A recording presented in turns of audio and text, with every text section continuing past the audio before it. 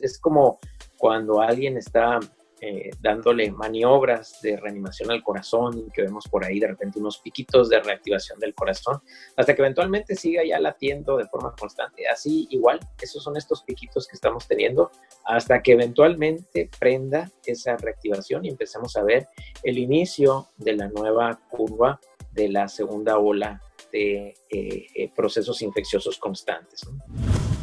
aunque muchos de los ciudadanos hemos aprendido bastante con respecto a, todas las medidas que habremos de mantener a lo largo del tiempo, eh, viene posiblemente esta, este, nuevo repunte de casos y sin duda habrá de suceder exactamente lo mismo que nos tocó al principio, la persistencia de problemas o el empeoramiento de los problemas de la gente que ya tiene dificultades emocionales.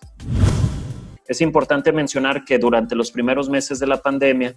tanto Sonora como Hermosillo en particular. Eh, Hermosillo fue, eh, estuvo entre las tres, cuatro capitales más afectadas en términos de empleos formales. Hemos perdido más de 3.000 empleos formales durante estos meses y eh, como una de las capitales con el mayor cierre de empresas formales. ese impacto económico sin duda plantea a los tomadores de decisiones, principalmente el sector público, a estar evaluando la pertinencia de impulsar medidas restrictivas que nos ayuden a justamente resguardar la salud y prevenir los contagios, pero al mismo tiempo esa eh, necesidad o esa